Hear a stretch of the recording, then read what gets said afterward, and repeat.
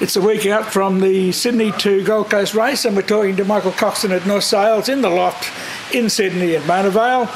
And we're going to talk about the boats and what's going on in uh, the race. Now, up the front, it's going to be a good one because Wild Oats is there and also the ex Ragamuffin. So, what's your predictions here, there, Mark? Uh, well, I think it'll be really interesting. Um, uh, I did this race last year on uh, Perpetual Loyal, and um, you know, which we, we got line on on, but with the only maxi yacht. Uh, um, second was uh, Blackjack, um, the Volvo 70. So I think this year having the 200 footers uh, will be a really interesting race. The last time that happened, I think, was about four years ago, where um, uh, Wild Oats and Perpetual, or in, those days was uh, Investec Loyal, uh, had a ding dong battle, and there was only nine minutes in it at the finish. Wild Oats pipped us, but there was only nine minutes in it, so it was a fantastic race. So I think it's really interesting for the public to have the two maxis sail. And, uh, you know, it's um, sad to see that Syd's uh, no longer campaigning, but it's great to see that the old Rags is back out on the water and uh, new old Rags, and um, that she'll be giving uh, Oats a good run for a money. Well, it's the same crew basically, isn't it? Really, uh, on Scallywag. So. Yeah, yeah, I believe so. Yeah. So, and you know, they did a lot of training last year, and uh, they'll be getting better and better. And uh, so, it'll be an interesting, uh, uh, you know, it'll be interesting to see how the boats perform. It, it, it's a, always a different race going north than it is going south in the Hobart. Um, generally speaking, you've got uh, a lot more lighter airs. You've got flatter water. Um, you can get a lot of reaching in it. Uh, so the you know, th- those conditions could actually uh, suit uh, the, the old rags or scallywag as it's now called. Mm-hmm. Um, but it's also a great opportunity for Oats because she's done a lot of uh, work to improve her reaching performance. Uh, when Comanche came out and you know, the wider, more powerful boat came out, they realised that their weakness was going to be that power sailing. So Oats has done a lot of work with uh, sideboards or riding boards, whatever they call them, um, and uh, worked on her reaching inventory a lot. So uh, it'll, it'll, be uh, a good test for both boats and uh, give us a bit of a lead into the, the Hobart. New sails? Uh, we, we haven't put new sails on for this race for, for Oats, but we've, we've got doing a new mainsail for Hobart, and there's uh, a couple, another specialist uh, we're working on for, for reaching, and which is a bit top secret at the moment. And uh, also, uh, you know, she'll, she'll uh, be getting a new jib. So uh, yeah, more sails to come. Well, behind them is the Volvo 70s. Now there's three, so I believe you're on. Yeah, um, I'm on Maserati.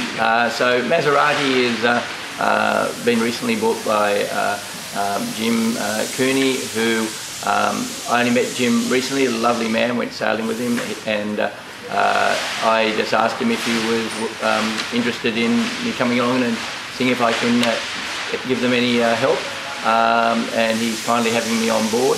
The reason I did that is that Anthony Bell, who's um, not campaigning the Maxi this year, so basically Loyal has been parked up for a year. And uh, so, you know, I saw Jim there as uh, um, he owns both Brindabella and he's bought uh, Bumblebee, which he's turned into a, a, cruising boat. And now he's bought the, the Maserati, which was did at Hobart under the Italian flag last year. So uh, um, he's kindly having me on board. And it was really fun to go for a sail with those guys because he sails with three of his kids.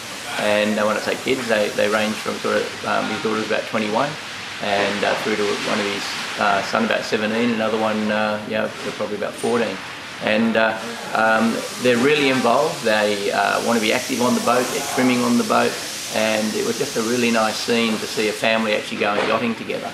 And it is a full, uh, and he's proud of the fact it's a full amateur crew. And, and when I say amateur crew, they're, they're very competent, but they don't have professionals as all the other Volvo boats do.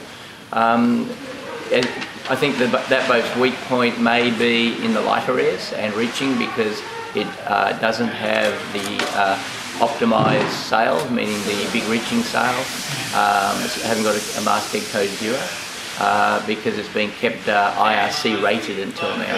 So Jim's got to make the decision whether he uh, wants to stay in that configuration or match it with the other Volvo 70s. I think if you want to match it on line you're going to have to um, go basically towards the more optimised sails and let the rating go and uh, go for the boat speed. And that's certainly where Blackjack's gone. Blackjack's a really interesting project coming up because uh, she's still sailing in the configuration she did the last Hobart. Uh, however, she has on order a, uh, a new mast and all new sails, and the rig's going to be around two and a half metres taller. So they are fully turboing her up. Well, true. Because bear in mind, the Volvo boat's uh, design specification has been to sail around the world. So if anything, they're conservative in sail area, and as such, it, uh, for short coastal racing and around the boys racing, they suffer in that area to be you know, set up to go around the world and you know, sail in extreme conditions. So basically what Blackjack's doing is they're taking the Volvo and they're converting it to what I think will be a you know, very, very fast boat with a lot more sail area on it. So that'll be interesting to see for this coming Hobart. The mast, mast and sails will be commissioned in uh, uh, mid-November and she'll be fully wicked up for the Hobart. Speaking of Hobart and Volvo 70s, uh, Jim Delegat from New Zealand has got the boat in Australia this year. He'll be in the race also. He lost his mast in the Hobart race, didn't he? Yeah, I, I'm not familiar with that one. Which, uh, sorry, the which Giacomo? Oh, oh yes, oh, yeah, yes, no, the New Zealand, yeah. Yeah. Richard Bicknell's um, uh, Richard Bicknell's on that boat from North Sails New Zealand, and um, a good friend of mine, Tommy Braidwood, he's also sailing on. I would love to have him sail with me again this year. He sailed on Loyal with us, so they've got a very good crew, and uh, they certainly know that boat very, very well. She'll do well too against uh, Blackjack. Yes, I think that they'll they'll give each other a good race. So, uh, but it'll be interesting to see what happens when Blackjack goes bigger again in the rig. Yeah, well and truly. And what about Chinese Whisper? She's uh, she's a JV 62. Yep, yep. How will she go against the Volvo 70s Uh, in its configuration? I, I think, look, at the end of the day, Waterline is king. Um, so I think that uh, she'll she'll hang on in the lighter areas, um, but I think uh, overall she'll struggle because you, you can't make up for 10 foot of waterline. Now, next, nine TP52s. Yeah, isn't that amazing? It's um, uh, I think uh, it's a credit to, to the Australian yachting scene and, and the owners that uh, we've been able to gather that many boats uh, down in Australia now. Um, you know, as a legacy of uh, I guess the TP circuit. You know, they, they basically keep building new boats for the TP circuit. It's a full arms race uh, up there.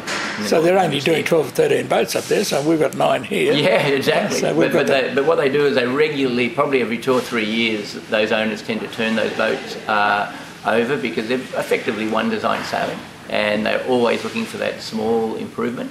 And as such, these very, very good quality boats um, become available and at uh, very reasonable prices. Um, the only thing you've got to be a little bit careful with or be aware of, and the owners are, that they're often built for um, med conditions, so they need to be uh, basically uh, beefed up for Hobart conditions. But yeah, both in the rigs and the uh, the rigs and the hull, uh, but, but a lot of the boats have been converted and made strong enough for, for Hobart conditions. Well, that's one of the reasons why Balance, which is the old Quest, is Yeah. so uh, so goes so well in this particular area because she was an American boat, wasn't she? Yeah, I believe so. Yeah, yeah, and uh, um, yeah, it, it's a very well sailed boat, and it, under different owners, it's always performed performed well. So I think it's a good all round offshore boat. Yeah. Well, yeah, Mike Green on uh, Balance, he's uh, Oh, very he's experienced. been on the boat for a lot of years. He has been on the boat for a lot of years, and he's a very experienced offshore sailor. So, Indeed, yeah. yeah, it's a very well campaigned boat for Clitheroe. Matt uh, from uh, Yachting Australia, um, he's got Ichiban. Yeah, Matt Allen. He's Matt uh, Matt's campaigning. Uh, you know, he still uh, uh, campaigns both his uh, uh, 60 uh, footer, and he's also got the 52. Uh, I think that he his 52 would be regarded as the number one uh, in uh, in Australia at the moment. Um, he you know, won the Port Stephens Regatta convincingly uh, uh, last month, and uh, you know I think that he, he is the boat to beat there. Um, you know he's a very very very good campaigner, and he's been doing it a long time, and has a, you know a very very good crew. The Perth uh, boat that was uh, had the problems in Hobart race, M3, uh, she's in the race. How do you think she'll go? Um, I don't know a lot about her, um, so you know, uh, you know, I really can't comment because I don't know enough about who the crew are and and uh, how you know how, how they've been going and. But um, you know it'll be interesting to see. I think that with that many boats, it's just going to be races within races the whole way. So, Sean Langman is uh, sailing RKO. Uh, yeah, I believe um, Sean has just pulled out, so oh, uh, due to um, uh, a, a, personal issue, so um, he, he won't be there. So they're just reconfiguring their crew at the moment. I've been uh, speaking uh, with Aaron Rowe, the owner, but it's great to see uh, um, Aaron hmm. you know, get into the TP 52s. Um, I've only recently met him. He's a very nice chap. He's he's young and he's enthusiastic about yachting. So uh, I think it's, he's going to be a great asset to the sport. Then there's Rags with. Uh, yeah, yeah. I mean, yeah, David Brendan? Witt's a great campaigner. No, the Brendan Fisher. Oh, the Brendan. Sorry, yeah, yeah sorry, the, the 52. Yeah, yeah. Um, yeah they'll. It's great to see that boat still sailing. Um, yeah. You know, with the big boat being pulled out of uh, uh, or, or, being sold. So it's really great to see that they're still keeping the Ragamuffin name going. Indeed. And uh, you know, they're, they're a very solid campaigner and have been doing it for a long time. Celestial. Uh, yep, she's, she's another. She's a, yep, she's another one that you know. That they're all fairly new. When I say fairly new, that they're only all just starting to sail against each other. So I think that you'll find there are boats that are going to have their strengths and weaknesses, um, and you know, meaning some will be stronger in line some will be stronger in reaching, running, upwind. So I think what we will find out is what boats got strengths in what conditions, yeah. um, and but that'll be completely different when it comes to the Hobart race. Like oh, I say, yeah. when it blows hard in the uh, Southport race, it normally blows hard from behind. Mm. So uh, it tends to be, and, and it gets warmer as you go. So so Southport, I think, is a very is a really nice way to start the season because it's a uh, an easy way to break the crews in and to give them a shakedown. But I do think the Southport race is a Southport race is a key race to actually prepare for your Hobart because it, although it's an easier race, it actually gives you your first um, overnight experience for the crew for the season. And um, there are not a lot of overnight races thereafter um, to, to work on. So this gives you, know, two or three nights at sea and uh, lets you get your, you know, basically get your job list for what you've got to improve for leading into the Hobart. It doesn't take long to get uh, around to uh, um, the end of uh, December again. And North Sails, Nick Badan, Nick's on uh, Patrice with Tony yep, Kirby. Yep, yep, yeah. So uh, Nick, our service manager, mm. is going to be sailing with on Patrice, and we've also got one of our trainees, Matt, who's a, um, very keen young sailor from from Melbourne. He's uh, going to also be sailing on board, so we're well represented there. And uh, yeah, that's a very, very good boat. So if it's a if it's a uh, medium-sized boat race, I think she'll be the boat to, to, watch for, for the IRC. Any other boats that you've got your eye on? Um, oh, look, it's there's a big entry. I think it's close to 70 boats. Yeah, so uh, you know, it's really going to be a weather dependent. Yeah. Um, you know, traditionally the big boats don't win this race.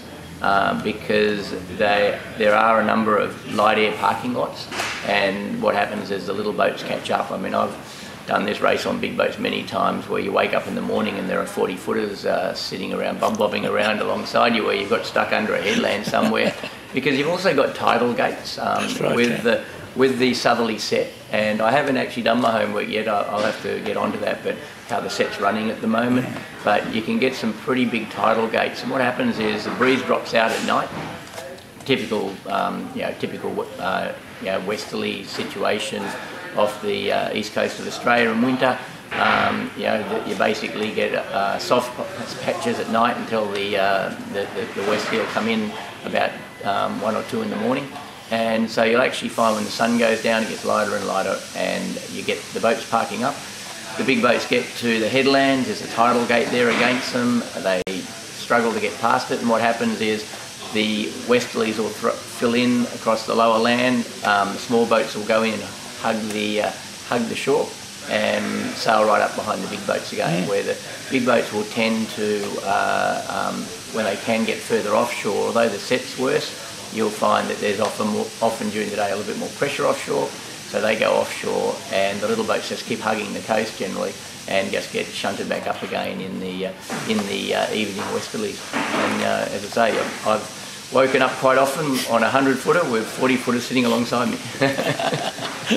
Demoralising, isn't it? uh, not a good look with the owner. Who looks at you and wonders what you're doing. well, the, the race is a really a feeder up to Hamilton Island, isn't it, for the Yeah. Hamo series? Yeah, it's a great feeder for Hamo, and uh, and I think that uh, it, and then it's followed then by the Keppel race. I know I know uh, Blackjack and uh, Oats are both backing up to do the uh, uh, Brisbane to Keppel race uh, shortly after that. So so it's a, it's a you know, it's a great great of a start start of a great circuit for for a lot of people who. It's good to see. Sandy uh, looking after the boat and uh, and putting it into all these races now. Oh, most definitely. I think that um, you know, I think obviously everyone was wondering with you know the passing of Bob whether Yeah. the boat would keep going, and not only has it kept going, he's he's fully into it. Um, That's excellent. Rico actually, um, I was speaking to him a couple of days ago. He called up to make sure everything's happening. You know, we're all thinking about how to keep the boat going. He said he had dinner recently with Sandy, and Sandy's keen to make sure that all the boxes are ticked. They don't want any excuses. Um, you know, I think that, that, you know they'll be work, really working on their crew work and preparation, and uh, they don't. No one knows whether Comanche's coming out for Hobart. Um, I spoke to Ken Read about two weeks ago, and you know he said basically it was 50-50 whether the boat was going to come out. Uh, Jim Leone just has to you know make that final call, and uh, but they're going to be prepared and ready. So. Uh, um, that's keeping uh, Rico on his toes also because they've got to be prepared for another maxi being there. And not only you know will there be uh, uh, Scallywag, the ex-Rags, but uh, you know we'll we'll also you know very may, may very well see Comanche back out again. So up at uh, Hamo though, mate, um, I believe you've got a bit of a loft up there, have you? Yeah, every year we um, we take a full service facility. We have a trailer that uh, box, know, covered in trailer that we load sewing machines in, um, um, repair materials, spare battens, you name it. We take the whole lot. It's a travelling circus um, because without that, you know, there's, you know, there's, there'll be 300 boats sailing up there, and the, the island doesn't have any service facility. In, in many years ago, we used to actually uh, set up a, a service on the mainland by using one of the local small uh, lofts, but it really wasn't practical to do so, and um, we, we had a partnership there to do that, but they couldn't make any money out of it. By the time you took, the sails backwards and forwards, and you know, it was just too hard. So, so we made the commitment, and with the support of the island, um, the Oatleys kindly uh, provide us a uh, a, a great room which we turned you from one of their reception rooms into a sail loft overnight, and uh, we set up there with machines the whole lot. But it's, it's a it's a big exercise, but it's really important, and it's supporting the Oatley family to put on the race because without sail service, it's one of those things behind the scene nobody really appreciates. right. But without it, um, you know, the boats, so many of the boats couldn't keep sailing. That's right. So, uh, so we- we're up there every year, and we're, we're, it's our bit, to, you know, the little thing we can do to support the, the race program and uh, to support the Oatleys who put on this fantastic regatta. You'll be sailing, Alan? Uh, yes, I'm going to be sailing on uh, Concubine, a, a, a Ker uh, 46 uh, South Australian boat. Really looking forward to that. Um, I'm uh, teaming up with uh, an old friend, Noel Drennan, who uh, uh, used to work for us in Melbourne, and uh, he's a professional sailor. He does the TP52 circuit, and he now lives in um, Florida. But he's going to come out and uh, do the main sheet for me, and I'll be doing the tactics on the boat. So, looking uh, forward to, uh, to sailing on her and and getting in amongst the, uh, the, the you know the bigger fleet with um, you know a little bit smaller boats. And uh, Albie's on Wild Oats, is he? Uh, yep, Albie's going to be uh, looking after Wild Oats. He's got to go. I think he's got to pull out. Can't do the last race because he's got to then go to Palma where he's doing the mini mini maxis. Uh, Oh, poor Albie. yeah. So, so, so he, he gets the good jobs. He just uh, follows the sun. So he, he's doing fine. Um, we've got um, uh, Aaron Cole who runs our Melbourne loft. He's going to be uh, on Patrice. Um, yeah, so we've got a very good representation up there. Um, you know, and you know it's a, one of the, the fun regattas and a really good way to start the season off. And to end it up, mate, um, you know, what's been happening? What's been going on? Give us some, some Uh, I've been doing uh, scuttlebutt. Well, scuttlebutt. I mean, I've been doing a lot of work uh, on Etchells over the winter period. Um, there's a, been a resurgence with Etchells. Uh, there are five new boats on order. Um, I'm working closely with uh, Tom King, and uh, he's getting the first of the new boats. They've just modified the moulds and so on, and uh, he's getting the first boat out. So. Um, Tom was in yesterday. We're doing a bit of uh, sail development and testing, and we're going out again tomorrow if the winds are, are suitable. And uh, yeah, so that's been that's been exciting. But uh, the Etchells are going from strength to strength, and you know I really enjoy the balance of the one design sailing with the yacht sailing because I think they complement each other. The, the one design helps keep you sharp for the big boats. Yeah. And uh, if you do too much of one or too much of the other, you, you, I think you lose your edge. Yeah. Uh, and it's just great uh, with the Etchells to get behind um, a lot of uh, um, a lot of the top sailors actually sail in that class, and then we'll go on to sailing in you know on the big boats also. So you know, it's really complement. Uh, other things are um, the MC38s. They're, they're, they're just so much fun. You know, the, the circuit's going. It was uh, quietened it down for a little while, but it's, um, we've got Neville Crichton back out in the fleet again, and uh, so you know I've been really enjoying sailing. I've been sailing on Assassin with Robin Crawford, um, and it's just a, a, great uh, scene that MC38. Um, it's such close racing. And uh, it, it attracts a lot of good sailors, and um, they're just fun. They're like sailing. They're like 18-foot skiffs on steroids. Well, yeah, look at Leslie, Leslie Green. Well, that, that is an amazing story. It I is. mean, uh, yeah, there are two amazing stories if you look at age and yachting. I mean, you've got uh, in the Dragons, you've got Gordon Ingate, who at his 90, this just turned 90, I believe. Yes. Well, in his 89th year, he won the Australian Championships again. Uh, and then you've got Leslie Green. I don't think Leslie will mind me saying. I believe Leslie's now 83 or maybe just turned 84. Uh, and uh, he regularly wins. In fact, you'd, you'd say he's the most consistent performer in the MC38 class. Now, there is a class. oh, gives it to skiffs- them. Skiffs on steroids. and we have an 83 year old who is just. Whipping them. Yeah, and has the, the biggest smile on his face after, well, after he wins the regatta. that's right. and just such a lovely gentleman, and uh, just shows you that yeah, you- we're in a sport where you can do from the age from you know, I was going to say eight to eighty. I think I'll have to change that from uh, nine to ninety, uh, and still be competitive. So Well, yeah, you go from opties to that's right. Supermaxes, yeah, yeah. yeah. So it's uh, you know it's really a credit to our sport. It's one of the few few sports in the world where you can actively compete and you can be competitive your whole life.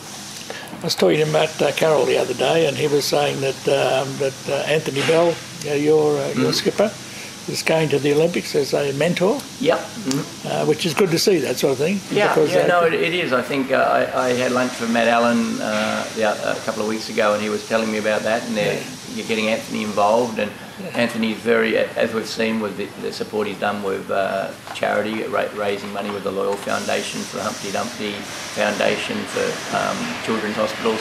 Uh, Anthony's very got very good connections. He's very good, very enthusiastic, and I think that he will be a mentor. He will also, I think, help secure some sponsors. And I, I think he, you know, uh, I'm, I'm not sure.